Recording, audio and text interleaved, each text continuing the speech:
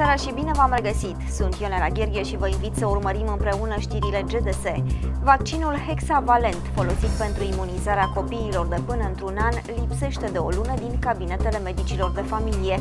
Detalii în jurnal, imediat după titlurile ediției. Craiovenii au de unde alege. Sute de brazi pe gustul și pentru buzunarul fiecăruia se găsesc în piața mare. Cazurile de cancer de colon apar des în întreaga Europa, numai că mortalitatea nu este atât de mare ca în România.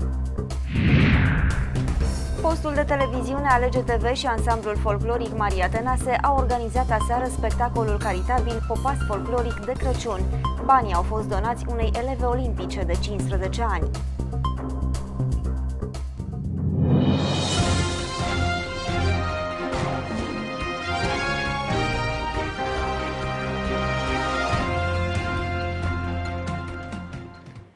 Vaccinul hexavalent lipsește de aproape o lună din cabinetele medicilor de familie. Acesta este necesar copiilor de până într-un an. Marea problemă este că micuții trebuie imunizați la timp, altfel riscă să se îmbolnăvească. Vaccinul hexavalent se administrează la 2, 4 și 11 luni. Medicii spun că este inadmisibil ca bebelușii să nu poată fi imunizați. Lipsa vaccinului hexavalent este o problemă serioasă. Copiii care trebuie vaccinați la 2 și 4 luni și nu sunt imunizați sunt expuși la boli precum tusea convulsivă. Din păcate, în acest moment avem la nivel mondial o recrudescență a acestei boli. Data limită minimă la care se poate face vaccinul hexavalent este 6 săptămâni. De aceea noi îl administrăm la vârsta de 2 luni. În intervalul 0-2 luni, în care bebelușul nu este protejat de vaccin, avem din ce în ce mai multe cazuri la nivel mondial de copii care dezvoltă tuse convulsivă, a explicat Gindrovel Dumitra, medic de familie și coordonator în grupul de vaccinologie din cadrul Societății Naționale de Medicina Familiei. Pe piață există un alt vaccin ce poate fi administrat, doar că se găsește greu și este foarte scump. Să nu vaccinezi copiii din lipsă de vaccin este un element care nu poate fi tolerat și trebuie luate măsuri extrem de dure. Eu i-am informat pe părinții copiilor care trebuie imunizați că există pe piață un alt vaccin ce poate fi cumpărat, dar și acesta este greu de găsit și costă în jur de 200 de lei. Este important ca bebelușii să fie vaccinați la timp și nu cu întârziere. Copiii de 11 luni mai pot aștepta dacă vaccinul lipsește pentru că rapelul de la 11 luni trebuie făcut între 6 și 12 luni de la doza precedentă. A mai spus Gindrovel Dumitra, medic de familie și coordonator în grupul de vaccinologie din cadrul Societății Naționale de Medicina Familiei. Reprezentanții Direcției de Sănătate Publică Dolj spun că au informat Ministerul Sănătății referitor la această situație. Nu avem doze. Am făcut de două ori comandă, dar nu am primit deloc până acum. Noi facem solicitări cu numărul de doze necesar și așteptăm să le trimită Ministerul Sănătății. Mai mult nu avem ce să facem. Nu am primit nici noi nicio explicație vis-a-vis -vis de motivele pentru care lipsește vaccinul. Anul acesta au mai fost probleme de întârziere a vaccinului hexavalent și în vară. În Dolj se nasc lunar cam 300 de copii, ceea ce înseamnă că am avea nevoie de aproximativ 2000 de doze, a declarat Ștefan Popescu, purtătorul de cuvânt al direcției Direcției de Sănătate Publică Dolj. În luna august, reporterii noștri vă prezentau faptul că lipsește vaccinul tetravalent, care imunizează copiii în vârstă de 6 ani pentru mai multe boli, printre care tetanos și poliomielită. Medicii spun că abia în decembrie au primit dozele de vaccin. Cât vezi cu ochii în piața mare din Craiova sunt numai brazi. Modul în care merge vânzarea însă îi nemulțumește pe comercianți, deși brazii sunt de cea mai bună calitate. Cumpărătorii sunt atrași anul acesta mai mult de cei aduși din străinătate și mai puțin de cei autohtoni. Piața centrală este principalul punct de vânzare a brazilor de Crăciun pentru craioveni. Unii brazi sunt aduși din străinătate, alții sunt românești, din Maramureș, Harghita sau cheile Bicazului. Prețurile pornesc de la 30 de lei în cazul brazilor mai mici, iar cei mai scumpi ajung la 200 de lei. Cu toate acestea, comercianții sunt nemulțumiți că vânzările de anul acesta sunt destul de mici. Foarte slăbuți din cauza supermarketurilor, am înțeles că se vând la prețuri bune, sunt braze din import, ai nu știți românești. Sperăm că o să vindem toată marfa azi, mâine. Cum merge vânzarea anul acesta la brazi? Sincer, foarte prost. Cât i-ați vândut până acum? Cred că în vreo 3 zile, vreo 20-30. Și cu câți ați venit? În jur de 200 de bucăți. Fiecare an e numărat prin coronițele lui. E o ferie, ăsta în casă e ca un candelabru la biserică când îl leagă de, de unei cupola. Așa. E o, e o ferie. Uitați-vă, e românesc, miroase. Mi- nu miroase acum că e rece, dar miroase la căldură. Îl băgați în casă, e o ferie. Uitați-vă, are cinci ramuri, uitați-vă la el. Ca și la varza, m, când o căutați uh, să aibă frunza subțire.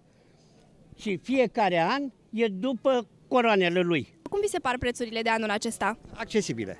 Cât ați dat dumneavoastră pe brad? Ca și pentru săraci. 70 de lei, cred că e cel mai frumos din această piață pentru noi. Așa ni s-a părut și De, de ce țineți cont atunci când alegeți bradul? Care sunt caracteristicile? de calitate. De calitate și de plăcerea uh, familiei. Cunoaștem gusturile Craiovenii care nu își permit un brad cumpără crenguțe, care costă între 10 și 15 lei. Totodată se vând aranjamente de tip coroniță, al căror preț pornește de la 5 lei, însă cu toate acestea vânzările au scăzut față de cele din anii trecuți. Cazurile de cancer de colon apar des în întreaga Europa, numai că mortalitatea nu este atât de mare ca în România. Aici oamenii se prezintă în cele mai multe cazuri foarte târziu la medic, în etapele finale ale bolii, când nu se mai poate face prea mult. Principalele simptome sunt modificarea tranzitului intestinal și scăderea în greutate, în ciuda alimentației normale. Niciun alt tip de cancer nu este influențat de alimentație precum cel de colon. De ce? Pentru că, în primul rând, tot ceea ce mâncăm trece prin sistemul digestiv. Este foarte clar că dietele bogate în proteine cresc acest risc de apariție al cancerului de colon. Așa cum am zis mai devreme, nu doar tipul de carne este foarte important, ci și modul în care o gătim. Totul îl gătim prăjit, ne plac grătarele, sunt bune grătarele, sunt excelente, dar nu trebuie să, re, să, să reprezinte mâncarea exclusivă. Sunt foarte buni micii și este foarte bine că ne mândrim cu această mâncare națională, să zicem, dar nu putem să mâncăm exclusiv mici sau carne prăjită. Cancerul de colon are o evoluție lentă de 10-15 ani de la apariția primei celule tumorale. Simptomele apar și ele tardiv. Simptomele care cu adevărat ne trimit la medic, adică cele care țin de tranzit intestinal, de o îngreunare a tranzitului intestinal apar tardiv, când tumorile sunt suficient de mari încât să, produ- să producă obstrucții sau în momentul în care nu mai permit un peristaltism normal. În general, acestea sunt cele care trimit pacientul la medic. Dar, din păcate, acestea sunt foarte târziu identificate. Unul din uh, lucrurile care trebuie să ne trimită imediat la medic este modificarea tranzitului intestinal. Adică avem un tranzit normal și, dintr-o dată, tranzitul intestinal devine modificat. Nu mai avem scaun zilnic, avem la 2-3 zile, din ce în ce mai mult la 4-5 zile. Din păcate, românii ajung adesea la medici în faza terminală a bolii, iar mortalitatea este mult mai ridicată decât în celelalte țări ale Europei. Cum simptomele sunt greu de depistat, medicii recomandă un set de analize pe an. Preparatele de Crăciun combinate cu țuică și vin urmate de cozonac sunt un adevărat bombardament gastronomic, chiar și pentru cei cu antrenament în ale mâncării. Astfel, bucatele trebuie consumate pe gustate cu o pauză de cel puțin 3 ore între mese, spun medicii nutriționiști.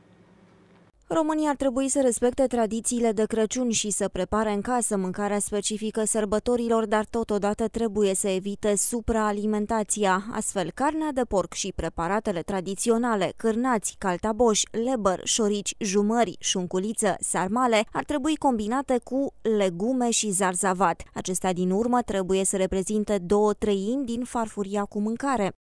Pentru a evita o supraalimentație în perioada sărbătorilor de Crăciun, ar fi bine ca două treimi din farfuria cu mâncare să conțină legume și zarzavat, iar între mese să se facă o pauză de cel puțin 3 ore. Este recomandat ca toate aceste alimente să fie consumate prudent, mai concret pe gustate, mai ales că această avalanșă de mâncare este consumată în doar 3-4 ore, ceea ce nu se întâmplă în mod curent, a spus pentru Mediafax un medic specialist în nutriție și boli metabolice. Aceleași recomandări ale medicilor nutriționiști sunt valabile și pentru masa de revelion. Acasă, în familie, așa au ales să întâmpine cei mai mulți craioveni Crăciunul. Motivul principal este lipsa banilor, pentru că ofertele agențiilor de turism nu au fost deloc puține. Sărbătoarea Crăciunului se apropie cu pași repezi, dar craiovenii parcă nu se grăbesc să-și facă planuri. Cel mai bine e acasă, înconjurați de familie, prieteni și bucate mai mult sau mai puțin tradiționale. Unde îți petreci sărbătorile de Crăciun? Acasă, Cu cine? cu familie. Ai fost vreodată în vacanță de sărbători? Da. Unde și când? Uh, Acum 2 ani la Reșița. Acasă, Cu cine? Cu familia și cu prietenii. Prima zi cu familia și a doua cu prietenii. Și ce ați pregătit anul acesta de Crăciun? Toate cele tradiționale, adică m- mezeluri de porc, cârnați, uh, în curs sarmale, urmează sarmalele și cozonacii, deci așa. Sărbătorile de iarnă compun două etape. În primul Crăciunul, care se serbează în familie, așa cum e tradiția, de câteva sute de ani, tot în familie trebuie să facem, și anul nou, care se face pe la munte sau în localuri. Și de anul nou ce vreți să faceți? De anul nou uh, pleacă toată familia și atunci ne relaxăm puțin așa Mulți dintre ei nici nu mai știu când au petrecut ultima vacanță de Crăciun sau de anul nou departe de casă, iar motivul pe care îl invocă adesea este lipsa banilor. Când a fost ultima dată când v-ați luat o vacanță, când ați plecat în vacanță de sărbători? Nu, nu. Niciodată. Niciodată. Decât concediu când mergeam cu soțul când trăia în stațiunea, rest nu. Acasă. Acasă că e cel mai frumos în familie cu copiii. Și ce faceți de regulă de Crăciun? O tradiții de ăștia, sarmale, bo, cartaboșii, tobă, de toate. Iar de Revelion aveți planuri? De Revelion nu, tot acasă în familie, că nu sunt bani să plecăm. Ați fost vreodată în vacanță de Crăciun sau de sărbători? Nu, nu mi-am permis.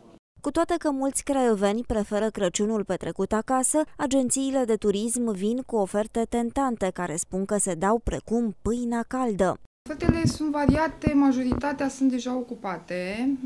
Dacă vă referiți pentru România, cele mai solicitate în zona aceasta sunt pentru Valea Prahovei, pentru Valea Oltului, în zona Băilor Herculane, mai departe, gen Maramureș sau uh, Bucovina, sunt mai puțin solicitate datorită distanței.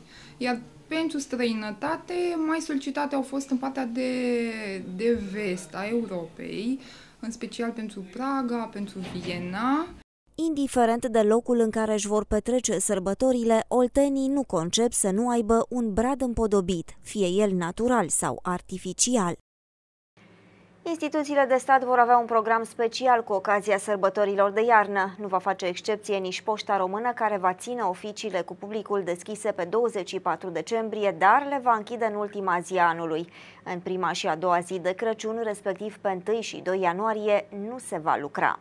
Compania Națională Poșta Română a anunțat că în perioada sărbătorilor de iarnă programul de lucru al subunităților poștale va fi următorul. În ziua de 24 decembrie, în mediul urban se va asigura programul de lucru cu publicul între orele 8-15. În mediul rural, toate subunitățile poștale vor funcționa în program normal. În zilele de 25 și 26 decembrie 2015, toate subunitățile poștale din mediul urban și rural vor fi închise. În zilele de 31 decembrie 2015 și 1-2 ianuarie 2016, toate subunitățile poștale din mediul urban și rural vor fi închise. Ca urmare a programului anunțat, este posibil ca trimiterile poștale prezentate în zilele de 23, 24, 29 și 30 decembrie să înregistreze timpi mai mari de circulație. Presa cotidiană și periodică apărută în zilele de 25 și 26 decembrie, respectiv 1 și 2 ianuarie 2016, va fi distribuită în zilele de 28 decembrie 2015, respectiv 4 ianuarie 2016. Sala Operei Române a răsunat aseară pe acorduri de muzică populară. S-a întâmplat în cadrul spectacolului Popas Folcloric de Crăciun, organizat de Alege TV în colaborare cu ansamblul folcloric Maria Tănase. Artiști cunoscuți au urcat pe scenă și i-au încântat pe spectatori. Banii strânși în urma evenimentului au fost donați unei eleve olimpice de 15 ani.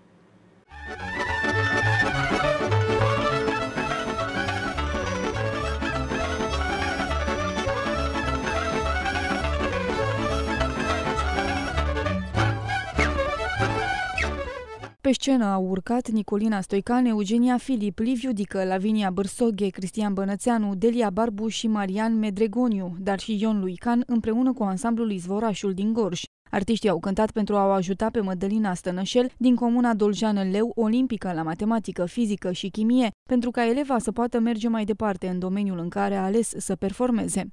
Ești uh, olimpică, ne mândrim cu tine și de asta ne-am adunat astăzi aici să te susținem, să susținem performanța. De curând tu ai venit din Corea de Sud, da? Vreau să-mi spui cum a fost experiența acolo și mai exact ce premiu ai câștigat. Uh, a fost o experiență de neuitat pentru mine, a fost prima mea internațională, uh, am obținut medalie de argint. La ce? Uh, la... Mulțumesc mult! La științe, adică fizică, chimie și biologie. Intrarea la spectacol a fost liberă, iar orice donație în cele două urne amenajate la Opera Română a fost binevenită. Acompaniamentul spectacolului a fost susținut de orchestra ansamblului Maria Tănase, sub conducerea muzicală a lui Nicu Crețu. Spectacolul va fi difuzat integral la Alege TV în seara de Crăciun, de la ora 20.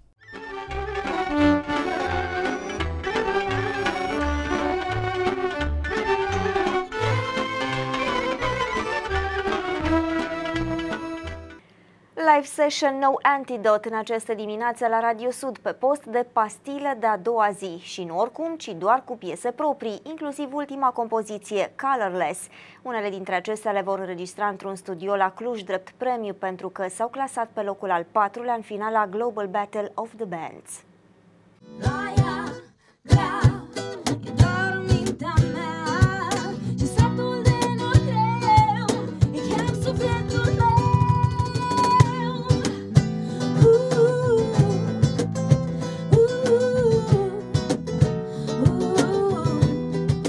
Nico, Diana, Andrei, Bogdan și Răzvan au fost în această dimineață invitații lui Belu și Glăvan la matinalul Radio Sud. Nu doar au cântat, ci și au povestit despre experiența din finala Global Battle of the Bands, concursul de muzică live unde s-au clasat pe locul al patrulea. A fost uh, o chestie foarte frumoasă, o experiență, cred că unică pentru, pentru noi și pentru oricare altă trupă care a urcat pe scena la final la GPOB. A fost uh, nu știu, emoționant, cred că vorbesc în numele tuturor când spun asta. Da, a fost... Nu ne așteptam, în primul rând, să ieșim pe locul 4, a fost o surpriză super, super faină. Locul 4 înseamnă ceva pentru noi și Înseamnă două zile Craiova. de studio. Da, din 19, 19 trupe finaliste au fost și noi am fost a patra. Pentru noi e o mare realizare, nu știu exact uh, cât de mult contează locul 4 așa în general, dar pentru noi chiar contează. Înseamnă că am avut ceva de spus și am spus bine. Live session-ul de astăzi a cuprins doar compoziții ale trupei No Antidote, nu și cover-uri. Cei care s-au aflat pe undele Radio Sud au putut asculta ultima piesă a formației, Colorless, scrisă după tragedia din clubul colectiv. Am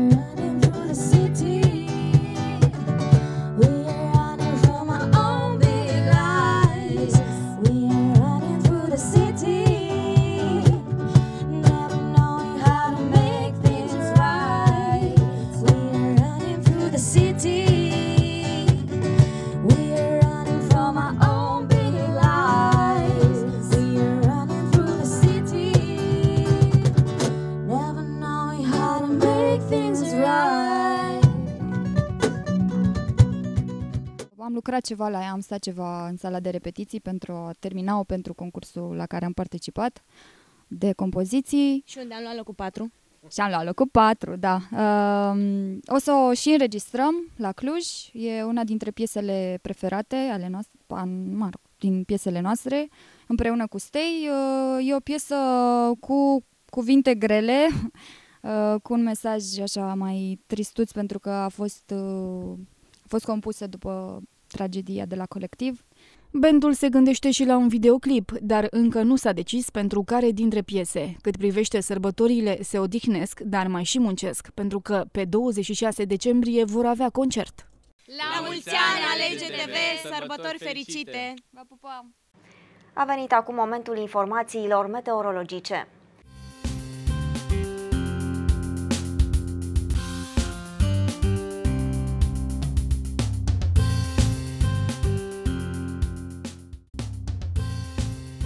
Cerul va fi senin în următoarea perioadă în Oltenia. La noapte se vor înregistra un grade la Corabia, 2 la Târgu Jiu și Slatina, 3 la Craiova și Drăgășani și 4 grade Celsius la Drobeta, Turnul Severin și Cetate.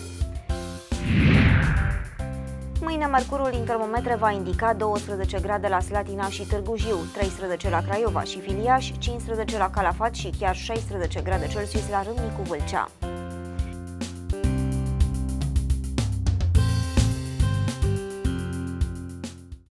Știrile GDS se încheie aici. Vă mulțumesc pentru atenție și vă invit să urmăriți în continuare programele ale GTV. În câteva momente urmează informațiile din sport. La revedere!